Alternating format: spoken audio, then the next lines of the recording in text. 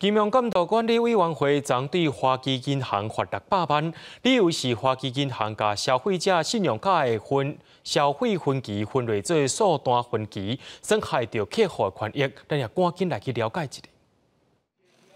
真侪民众拢有咧使用信用卡消费，毋过信用卡的分期各有分做消费分期甲小单分期，这两种民众敢知影有啥物差别？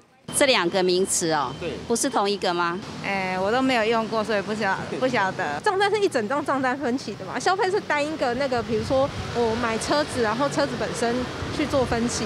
真侪民众对消费分期甲小单分期的差别并无清楚。消费分期就是由店头决定消费者的分期优惠，小单分期是小单出来了后由银行决定消费者的分期优惠。消费分期上是消费之后，那我们可能到不同的店家去做呃不同的分期优惠。账单分期上呢，我们消费完毕了，那这个时候我们可以跟银行呢去进行我们单笔或多笔每一个消费上面的分期。金管会涨价花旗银行发信贷票六百万，原因是花旗银行内部控管机制甲检查机制无落实。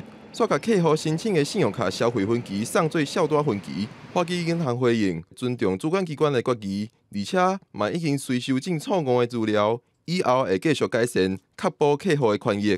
消费分歧或者是账单分歧的这个客户呢，都应该要自己再去查阅一下，或者是跟银行联系。那像金管会也好，消基会也好，消保会也好，我们都可以来帮忙咨询一下。消基会提醒消费者。平常时就要来检查家己的分期状况，若是有需要，会当联络相关部门寻求帮助。记者郭碧君、张玉水台北报道。